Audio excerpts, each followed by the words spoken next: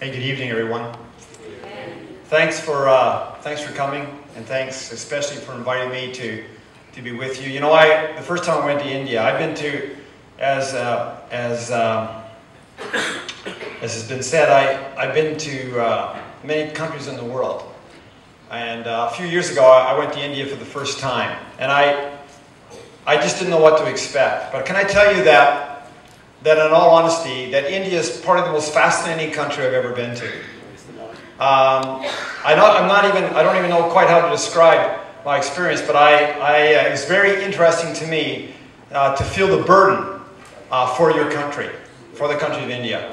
And uh, I, do, I do feel that burden, and I'm really looking forward to, to being there again uh, in November. I just feel like, you know, I, I don't think I've ever seen so many people in my life. I mean, I've been to China, uh, but when I was in India, what, what hit me was just how big, just how big that country is. I live, in a, I live in a large country geographically. We have a lot of land. We just don't have any people. Uh, but in India, it just hit me just how complex and how complicated India really is. I don't even pretend to understand it. But you know what? I don't have to. I just have to go and preach the gospel. Amen? And uh, so I'm looking forward to doing that. But tonight I, I want to share something with you tonight and hopefully um, something that's really close to my own heart. And uh, first of all, I want to tell you a couple of stories. Um, these are true stories. There was uh, a few years ago, there was a man named Sid and his wife Christy. And uh, Sid was working on his wife's car. And he had the car jacked up and he was underneath the car and he was working, he was working on the brakes. And his wife was in the house. And all of a sudden, she heard a large crash because the jack had slipped out from under the car and the car had come down upon her husband. And, uh, and, and so, the, because of the weight of the car on his chest, he couldn't speak. Uh, he couldn't even yell out. And, uh, but he, could, he kicked over his toolbox with his foot. And she was in the kitchen and she heard the toolbox upside, go upside down. She rushed out into the garage. She saw her husband trapped under the car, and he was suffocating because the weight of the car was on his chest and he couldn't breathe. So she, she, she ran into the house and she called 911 and said, Come quickly, my, my husband's trapped under the car. Then she ran across the street uh, to get help from her neighbors uh, because she didn't know what else to do. She came back. By the time the emergency people had got there, her husband was dead. He had died of it, he had been asphyxiated, he couldn't breathe. Six months later, in another situation, a similar event happened to another couple. And he too was working on his truck. And he was trying to fix the exhaust system on his truck. And again, the jack slipped out from underneath the truck. The truck came down on him. And he had just enough time to yell help before the weight of the truck came on him and he was not being able to breathe. His wife, again, heard the noise, rushed out into the garage, but this, but, but she handled it differently than the first woman. She didn't go in the house and call 911. She didn't run across the street to get help from her neighbors. Instead, she grabbed the bumper of the car and lifted up the truck high enough for her husband to roll out from underneath the truck, and his life was saved. He had two broken ribs and a new respect for his wife of 25 years. now, what's, See, why did you tell me these two stories? I told you these two stories to say this one thing. The power to save was available in both situations, but it was only summoned in the second. In other words, how did that woman lift that truck? It's called adrenaline. There was such a, she just, when she came into the garage, she saw her husband under the truck. She didn't even think about what to do. She just knew my husband is getting out from underneath that truck. And before she even thought about it, she grabbed the bumper of the truck and lifted up the truck. Because, but the, but the, the power, the power was available in both situations, but only summoned in the second. This is another true story. There was a man in our country, his name was Danny Simpson. This is a true story that happened a few years ago, and it happened in our capital city, Ottawa. And Danny Simpson um, decided one day to rob a bank. And so he had a gun uh, that had been in his family for years. And so he took this handgun and he went and he robbed a bank of $6,000. Well, eventually the police caught up to Danny and Danny spent, was sent to prison. And his gun was sent to the museum. Because in fact the gun had been made in 1918 was an antique and was worth $100,000. he used a gun worth 100000 to rob a bank of six because he didn't realize what he had in his hand. He had a lot more in his hand than he ever realized. What I want to talk to you about this, this evening is the power of the Holy Spirit. Because you have access to power and to resources that many times we do not understand and we forget about. I have been a, a Christian many years. I've been in ministry for almost 40 years. And I have seen so many situations where Christians forget that they have access to the most powerful person in the universe, the Holy Spirit. They have access to the Holy Spirit. And we are to be filled with the Holy Spirit. And yet many, many Christians live in defeat and, and, and, are, and, and suffer loss when in fact they could live differently. You know, um, Paul said this. You know, when I, when I read, the, when I read uh, his epistles, when I read the book of Acts, I find that there's a real emphasis in the Bible, in the New Testament, about us, you and I, being filled with the Holy Spirit and moving, not just in theology. You can have all the best theology in the world and not be experiencing the power of God. Paul was not interested in just teaching his people good theology. He wanted them to experience God, experience the power of God. He said this first, to the church at Corinth. He said in 1 Corinthians 4, verse 20, For the kingdom of God is not a matter of talk, but of power. It's not about talking. You know, one of the problems we have in churches is we do a lot of talking. Amen? We can listen to, you can, you can spend your life listening to 5,000 sermons and then go to heaven. And we just talk about it. You could end up talking about this message. I hope that this isn't just a message that you talk about. I want you just I don't want you just to hear my words. I want you to experience the power of the Holy Spirit. That's what Paul wanted.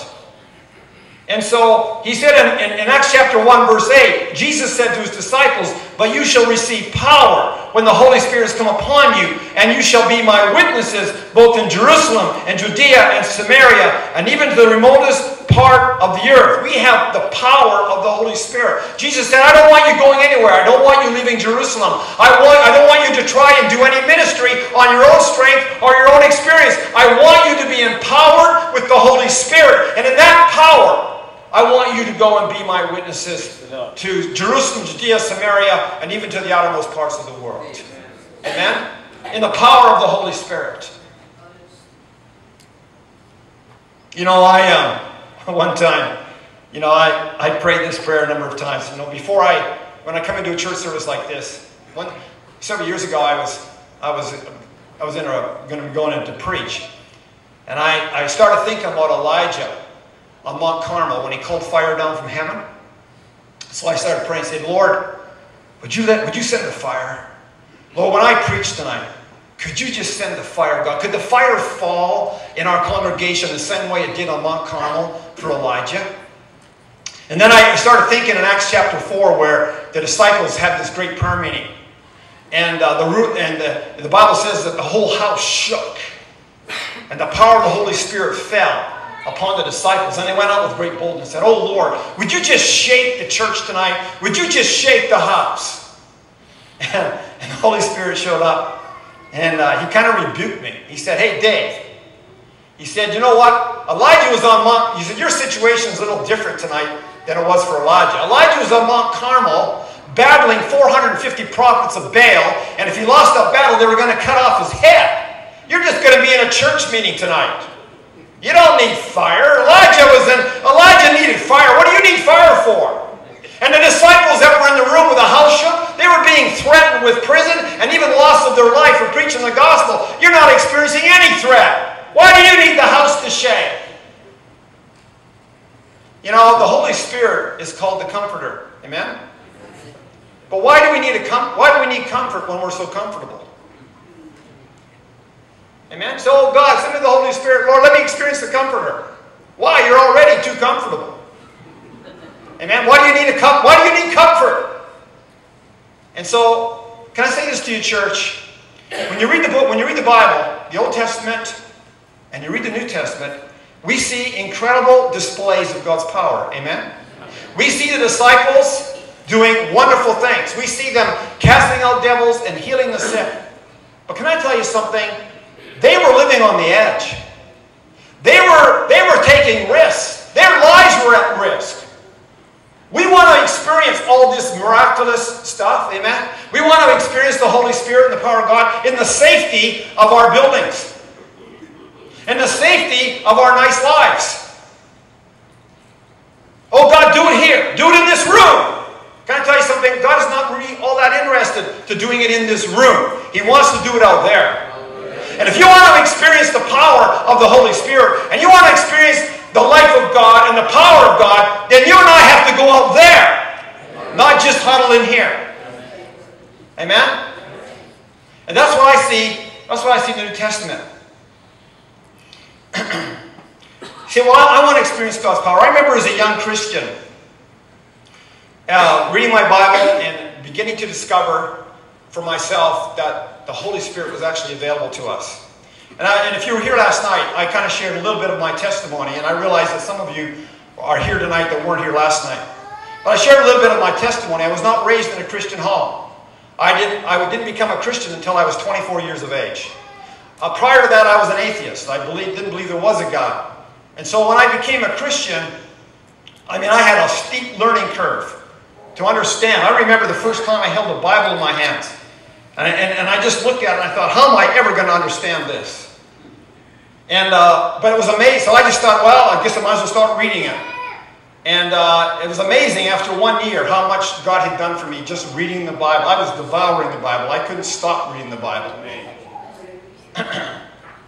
but as I began, and I was in a church, that didn't believe in the power of the Holy Spirit. They believed that because we had the Bible, we didn't need the Holy Spirit anymore. That all the gifts of the Spirit had passed away 2,000 years ago, and that we had the Scriptures and that's all we needed, and that God didn't do anything anymore. We just kind of had, we got saved, and we kind of hang on until Jesus comes, or we get to go with Him. But nothing would happen in between. You just had to make sure you hung on and didn't let go of your salvation. But don't expect God to do anything. That was basically the attitude of the church. Well, as a new Christian, what did I know? So I thought, well, I guess that's the way it is until, but as I started reading my Bible, I thought, you know what? That's not what it says in here. It says that I can experience the power of God. So I began to hunger and thirst and pray and say, Lord, I want the power. I want to experience your power. I want to experience your Holy Spirit. Why can't I experience what the disciples experienced in the book of Acts? And so one day, uh, was on a Saturday afternoon, and my, uh, my wife was downtown shopping, and I was looking after our two small children. And so I was, I was kind of praying. I was in my, just sitting in my living room praying, and I had my Bible open to Ephesians chapter 1, verse 4, and I shared this scripture with you last night, where it says, He chose you before the foundation of the world. And when I read that, it just hit me. Whoa! God chose me before He even made the earth or made the universe or made anything else. He already knew who I was and He chose me. And then as I began to meditate on that verse and pray over it, I, I realized, I said, well, that's true, then you obviously have a plan for my life. And I, I, I just, I just thought, I, I've got to have your plan, God. I've got to live the life that you chose for me. And so I didn't know how to do that. So I got on my knees, I started praying. And I said, Lord, if you, I'm just, I'm gonna, I'm asking you that I want to go through my life and I want to live the life that you planned out for me. I don't want to come to the end of my life and realize I just lived my own life, but I didn't live the life ordained for me by God. And so I said to the Lord, Lord, I don't trust me. If you leave it in my hands, I will mess it up. I will mess my life up. I don't trust me. So Lord, I'm going to tell you something. I'm going to trust you. And Lord, I'm going to, I'm going to ask you this. Lord, do whatever you have to do in my life to cause me to live the life that, I was, that you want me to live. Lord, I'm trusting you. I'm not trusting this guy. And so, so then as I prayed, I felt, I, I, I, I kind of, I made this promise. I made this commitment to the Lord. I said, I'll tell you what, Lord. I'm trusting you to sovereignly move in my life. Now, this time I'm a high school teacher. I'm not thinking about ministry. I'm not thinking about planting churches or anything like that. I, I, don't even, I don't even desire ministry. I just desire God. I just desire His presence. I just desire His power.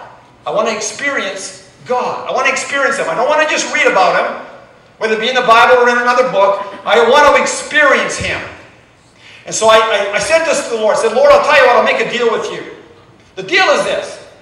You do whatever you have to do to cause me to live the life that you've got planned for me. And Mike, that's your deal. That's your part of the bargain. I'm trusting in you to do that. And here's what I'll do. I said, Lord, I'll take every opportunity to serve you. I will never say no to you because I'm afraid. And I'll never say no to you because I've never done it before. If the opportunity presents itself to serve you, I will always say yes. I will not try to force open any doors. I'll not try to make anything happen but I will step through every door that you open. But I won't try to make doors open. I'm just going to get up every day. I'm going to trust you, but I will never say no to you because of fear. And I will never say no to you because I've never done it before. Well, then, I, after I finished praying, I got up. I was pretty satisfied with myself. And so uh, three days went by. And uh, three days later, my phone rang. And uh, when I answered the phone, it was a pastor. It wasn't my pastor. It was another pastor in our in our community. And uh, he introduced himself. I'd never met him. And he said, Are you Dave Wells? I said, Yes. He says, Well, we've been talking about you at our local ministerial meeting. And I was shocked at that. I said, You were? He says, Yes. And he says, We would like you to start a youth ministry among all the evangelical churches in our, in our whole community. Because you're a high school teacher, and all these kids go to the high school, and you know, and you have access to them. And we want you to start this youth group that spans all the various churches. Well, you have to understand that I'm a new Christian. I have never led anything before. Nothing. I've never led a Bible study. I've never led anything. I've only just gone to church and sat in church. And so, as soon as he said that, I was paralyzed with fear.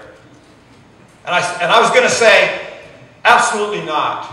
And just as I was going to speak and say no, the Holy Spirit showed up and said, What did you say to me three days ago? And here's what I said. This all happened within a, a couple of seconds. I said, Oh my God, he heard that prayer. and I realized right there that God was taking me up on what I had committed three days ago. And I also realized if I said no, then I didn't really mean what I said three days ago. So I felt like I was backed into a corner. And the Lord said, What are you going to do? I thought, I have no choice. So I said, I heard myself saying, yeah, okay, I'll do it. But I was petrified. I didn't have, a, I didn't have any idea about how I would do it. I didn't know what to do. And I was in, and I wrestled with it for several days. I thought, what am I going to do? How am I going to do this? I don't, I've never led young people before. I have no training. I have no ministry training. How am I going to do this? And finally one day the Lord said to me, Dave, why don't you just be yourself?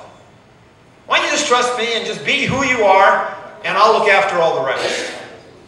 Well, I said yes to that. Well, then what happened a few days later, the, the, the chairman of the school board came to visit me, and he was also the mayor of our city. He's a very powerful man politically. He came to me privately and he said, I'll tell you what, Dave, I understand you're going to lead this youth ministry. You're going to create this youth ministry in our community. He said, I want to tell you something that you have a free hand in the high school. You can do whatever you want. I'm going to talk to your principal, who was not a Christian, and tell him to leave you alone and to give you a free hand you can use all the resources of the school. You can do anything you want. And I will back you. I will stand behind you. See, already the Holy Spirit is beginning to move. So then I said, okay. So I started prayer meeting in my classroom.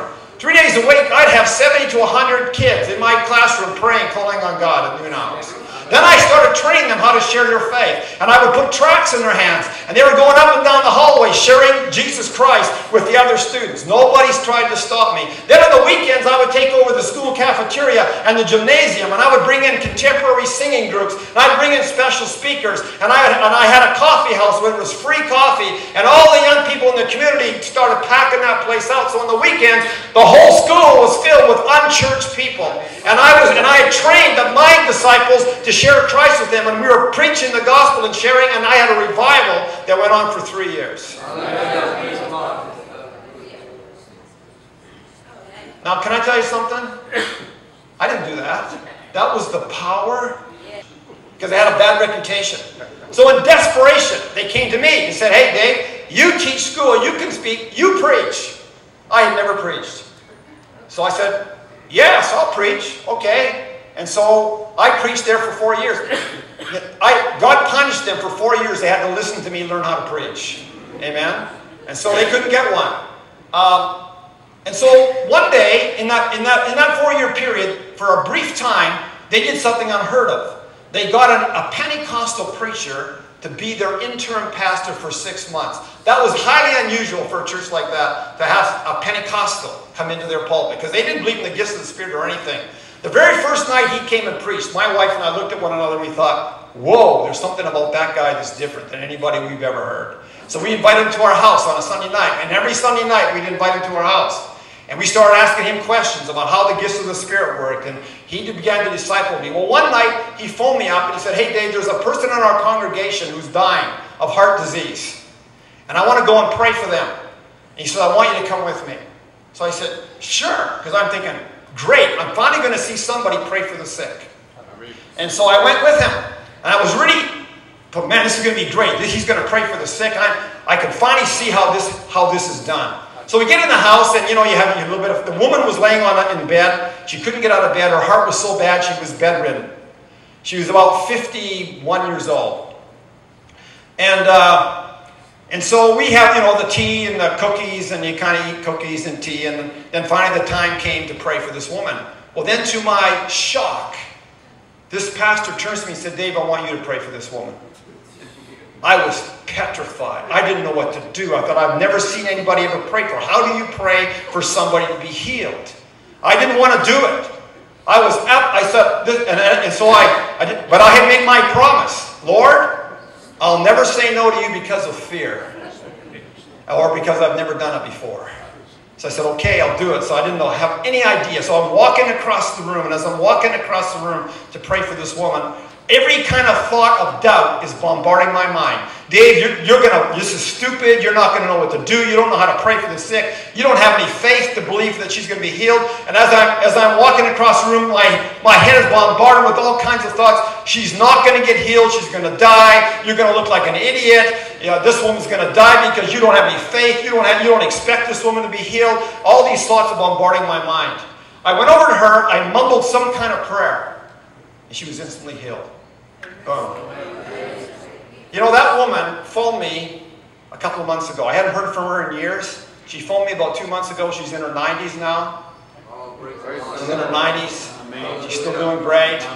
She just phoned me up. We talked for a little while. That was 40 years ago, church. She's got other problems, but she, does, she still doesn't have any heart problems. Amen? Maybe she'll live till Jesus comes. I don't know. Amen? Now, who, what was that? Was that me? Was that my spirituality? No. That was the power of the Holy Spirit. Did I feel His power? No. I felt fear. I was terrified. Did I feel faith? No. I was filled with doubt and unbelief.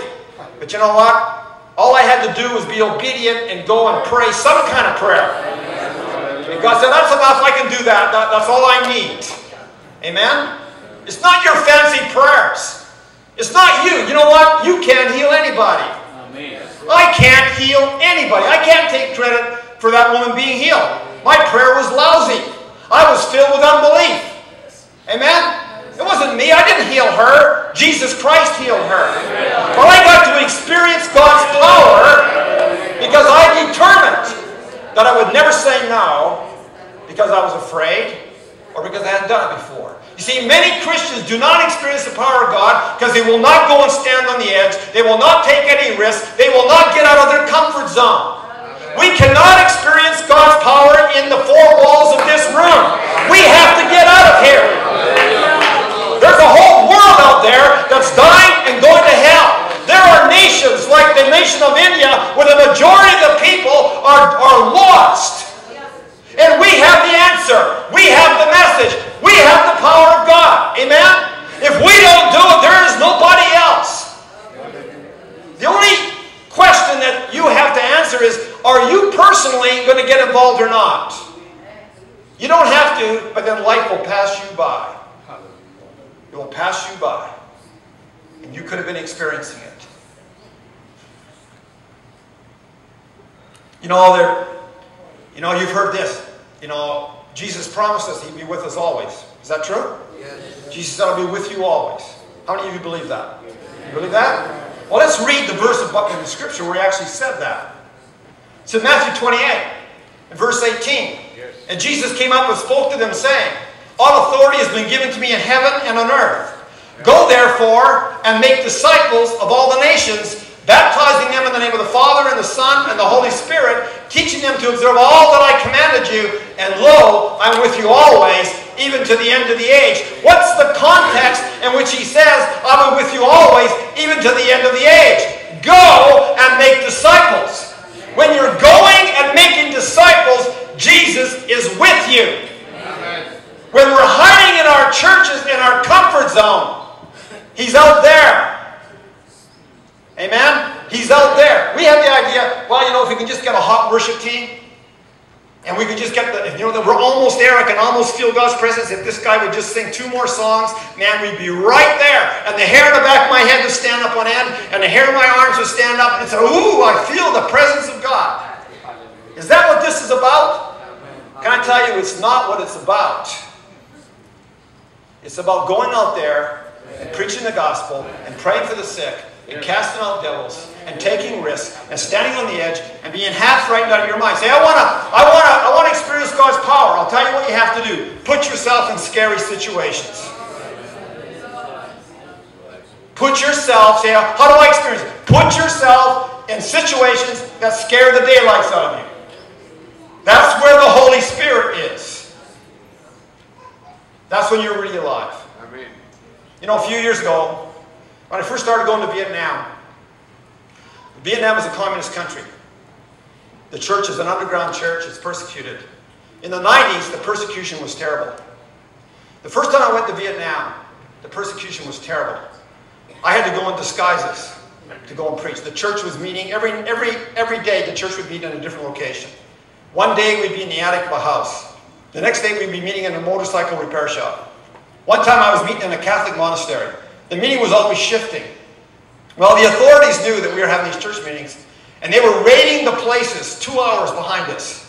I would leave, and two hours later, the authorities would show up and raid the place where we just were. Can I tell you something? I was scared. I was frightened. And, and there were times I'd lay in my bed at night in my hotel room knowing that the next morning I'm going to have to do it again. Because what would happen is, is I would go to, I was staying in a hotel in a part of the Ho Chi Minh City where business people would stay. People like me. And so I would, I would leave the hotel kind of dressed like this, casual business. I get into a car would be sent for me. I get into the back seat of a car. In the back seat of a car, there would be a motorcycle helmet and a pollution mask to put over my face. And I'd have to make sure I wear a long sleeve shirt or a jacket to cover my white hairy arms. And then we would be in the back of the car. I'd have no idea where the meeting was. But somewhere along the line, there was going to be a motorcycle. And then all of a sudden, the car would pull over. I'd jump out of the back seat of the car with my motorcycle helmet on, my mask on. I'd jump in the back of this motorcycle, having no idea where we were going, and away we would go through the city. They would drive that motorcycle right into the building, right into the house, before they'd let me get off and take off my helmet. Then I'd preach for about eight hours, stand straight, preaching. Then at the end, they would then leave ones and twos and threes, and then I would leave last. Sometimes they would leave me in that house until it got dark and come and get me after dark. Then I would put all the motorcycle gear back on, jump in the back of the motorcycle, away we would go through the city. Somewhere along the line was going to be that car waiting for me. Then I'd see the car on the side of the road, the, the motorcycle would pull over, and I'd run for the back seat of the car, take off the gear, and then when I got to the hotel, I'd step out just like this. That was the way we did it. One day, I was running across the road for that car, and I started yelling and jumping and leaping in the street because I felt so alive. And I started saying, yelling, I'm alive! I'm alive! I had such, an, such a rush because I was on the edge. I had to battle my fear. Sometimes I lay in bed at night and I become afraid and I start shaking in my bed. But I have to push through my fear. But can I tell you something? I was alive. I was living on the edge. I was experiencing the power of the Holy Spirit in those meetings. Amen? Now, you don't have to do something that dramatic, but I want to tell you something. that God wants to use every one of you. Amen. He, the Holy Spirit is for all of us. Amen? He wants to use every one of you, and He has an incredible plan for your life. But unless you're willing to get out of your comfort zone and stand on the edge, life will pass you by. Yes, you can live out your own plan for your own life, but there's another life, a life ordained by the Holy Spirit that is incredibly exciting that God has for you. Praise the Lord. And if you come to the, you know, at the if you come to the end of your life and you realize that you've just lived a comfortable life, you will regret that. I want to come to the end of my life and say, wow, what a ride. Amen. Amen? Wow, was that exciting. Amen. Hallelujah. I'm to go, I'm to, now I'm going to step into eternity and the best is yet to come. Amen? That's the way I want to live. You know, there's a scripture that I used to read and I used to wonder about. It's in 2 Samuel chapter 23. And I wondered for years, why is this even in the Bible? 2 Samuel 23, looking at verse 20 and 21. And it says, Then Benaiah, the son of Jehoiada, the son of a valiant man of Kabzeel, who had done mighty deeds, killed the two sons of Ariel of Moab. He also went down and killed a lion in the middle of a pit on a snowy day. He killed an Egyptian, an impressive man. Now the Egyptian had a spear in his hand, but he went down to him with a club and snatched the spear from the Egyptian's hand and killed him with his own spear. Now, why would the Bible say, talk about this guy going down into a pit on a snowy day to kill a lion? You know what? If I saw a lion in a pit, would I say, you know, I think I'll just climb down there and kill that baby? I think I'll just go down there and kill that lion. How many would? How many think that would be the first thought in your head? My thought would be, I'm getting out of here as fast as I can go. I'm not confronting any lion. But he went down into the pit and took on that lion and killed that lion. And then he meets an Egyptian, a powerful warrior, who has a spear. And he's only got a club. But he, that doesn't stop him. He goes up to this Egyptian, snatches the spear out of his hand, and kills this Egyptian with his own spear. Why is that in there? Why is that in the Bible? For years I'd read that and say, well, God, that's pretty exciting, but why is that there? You know, it's always good to read Scripture in context, isn't it? Because then you read the next verse. And it says, These things, in verse 22, these things Benaiah the son of Jehoiada did. And he had a name as well as the three mighty men. He was honored among the thirty, but he did not attain to the three, and David appointed him over his guard. Can I tell you something? What it says is this it meant promotion for him. You see, many times we meet lions on snowy days. Not, not down here in Dallas, you don't, but I, can I tell you something? We have many snowy days where I come from. We don't have lions, but we have bears. Close. but this meant promotion for him. He became appointed to David's bodyguard. If you read on a bit further about Benaiah, eventually he led the whole army of Israel. He became the second most powerful man in the whole kingdom eventually. How did he get there? I'll tell you why. It was his whole approach to life. Benaiah, when he faced an obstacle, he didn't see it as an obstacle. He saw it as an opportunity. He said, you know, most of us would be afraid of a lion and certainly would not climb down into a pit to confront a lion, but he did. Why? What it's telling us about this man is he confronted the obstacles of life. As things came to him, he believed this. He believed that God was ordering his steps. And wherever his steps led him, he would confront in faith and in the power of the Holy Spirit every situation he encountered. It didn't matter how frightening it was. It didn't matter how more, much more powerful it was than him. He had such a deep faith in his God, and he had made up his mind that he would confront every situation, and that every situation was not a stumbling stone, but was actually a stepping stone to a better future. Lord. That's the way he approached his life. So when he met a lion, I'm going to kill that lion. When he met an Egyptian, I'm going to kill that Egyptian. It didn't matter whether he was handicapped through lack of weapons or whether he was facing a foe more powerful than him, he believed in the power of his God to be upon him. Can I tell you something, church? That is exactly the way that God wants you and I to approach life. Amen? That we are not to be intimidated by anything. But in the power of the Holy Spirit, we are to confront the issues of our life and look at them as opportunities rather than as obstacles. If I approach my life that way, then God works for me and God works with me. And I've experienced that many, many times. You see, what you do with the challenges you encounter determines your destiny and it determines your future. It's in your hands. the Bible says the steps of a good man ordered by the Lord. You believe that? Amen. Do you believe that? Many Christians actually don't believe that. Oh, they can, they can, they can quote the scripture, but they don't believe it. Because when they reach an obstacle, they whine, they cry, and they quit. But I believe the Bible says the steps of a good man are ordered by the Lord. Do you believe that or not? I personally believe that.